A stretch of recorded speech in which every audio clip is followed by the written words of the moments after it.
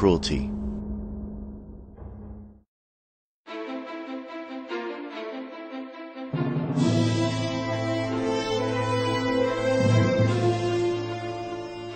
Swine flu, bird flu, all these um, really aren't inherent in, in they're not inherent in pigs. Pigs actually are one of the cleanest animals on the planet if given a choice.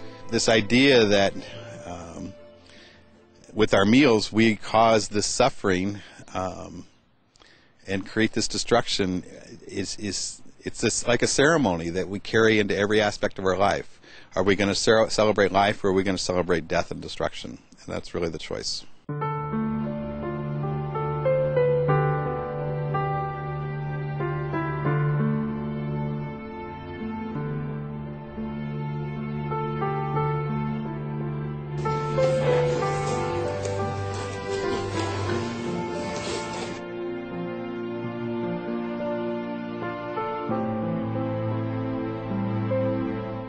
This is the Stop Animal Cruelty series on Supreme Master Television.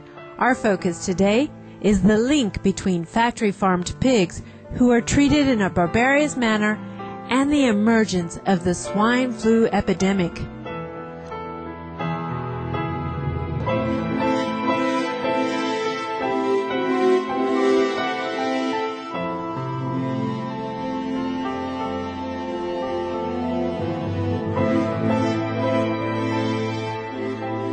On May 18, 2009, at the 62nd World Health Assembly held in Geneva, Switzerland, the World Health Organization nearly raised the pandemic alert level to 6 and stated that if cases continued to spread rapidly outside the Americas, this highest alert level, signaling a global pandemic, might be declared. Since then, the number of victims has been climbing in Europe, Australia, and Asia. The world of today is more vulnerable to the adverse effects of an influenza pandemic than it was in 1968, when the last pandemic of the previous century began. The speed and volume of international travel have increased to an astonishing degree. As we are seeing right now with H1N1, any city with an international airport is at risk of an imported case. These vulnerabilities to imported cases, to disrupted economies and businesses, affect all countries.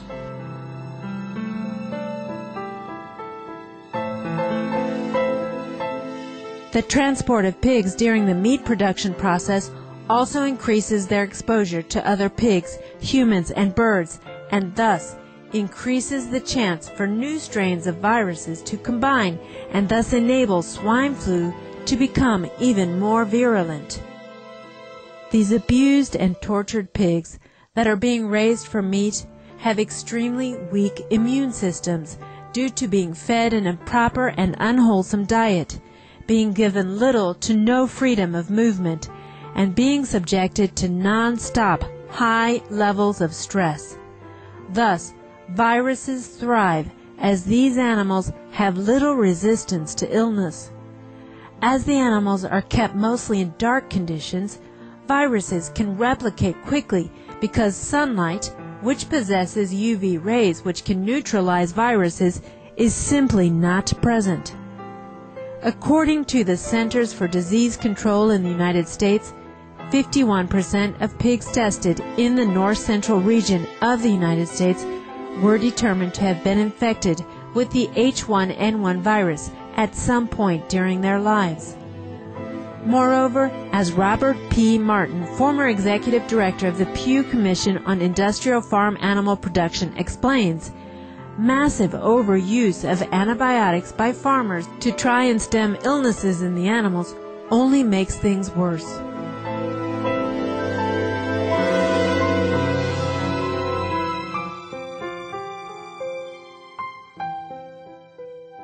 The routine use of antibiotics uh, is what allows these animals to be um, housed together uh, and uh, overcrowded in these kind of filthy conditions where they where they live standing over their own waste.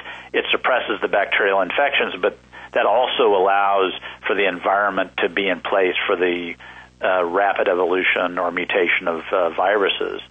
Um, and then, and then another really serious concern we had is that there is just not enough monitoring of uh, workers in these industrial farms. Yeah, we really decided that given the structure of these industrial operations and the fact that the workers aren't being tested, that a viral outbreak, uh, flu epidemic, like we've seen, was really a matter of when and not if. But I hope that uh, people start looking in this country at really how we produce food because it's the system itself that is the problem and you know it's not the animals in the system it's the way we raise the animals that are the problem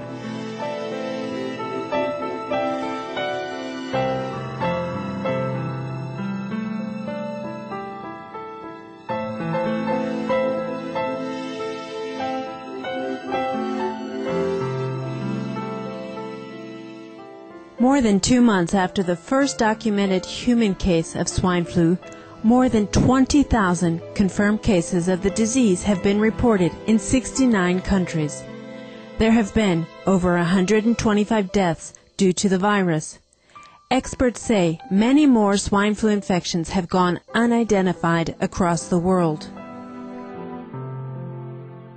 In a May 2009 article written for Newsweek, a respected U.S. news magazine, Laurie Garrett, Senior Fellow for Global Health at the Council on Foreign Relations, a U.S. based foreign policy think tank, well summarized the factory farm tie to the swine flu epidemic by stating, It is a strange world wherein billions of animals are concentrated into tiny spaces.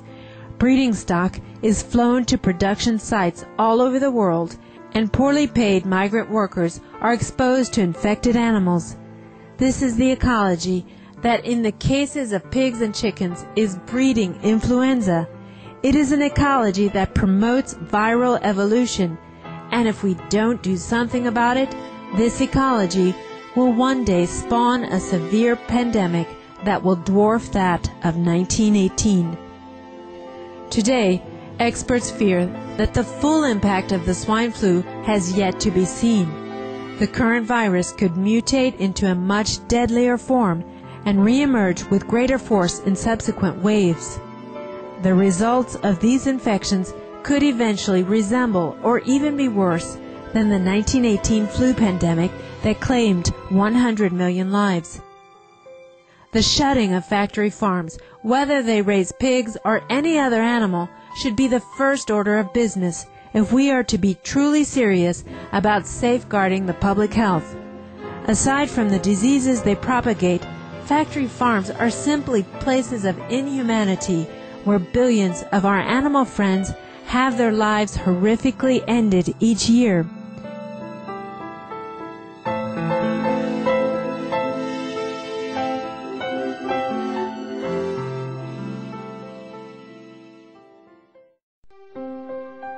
Please adopt a healthy, organic, vegan, meaning plant based diet and help prevent untold human and animal suffering.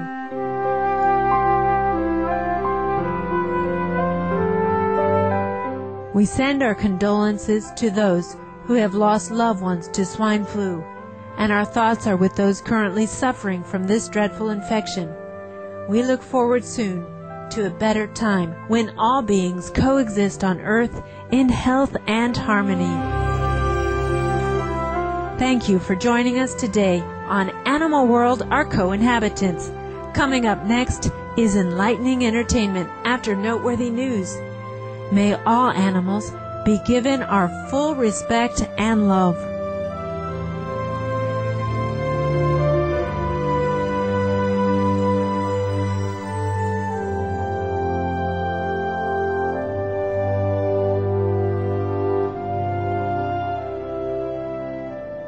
For more details, please visit www.suprememastertv.com forward slash stop dash animal dash cruelty.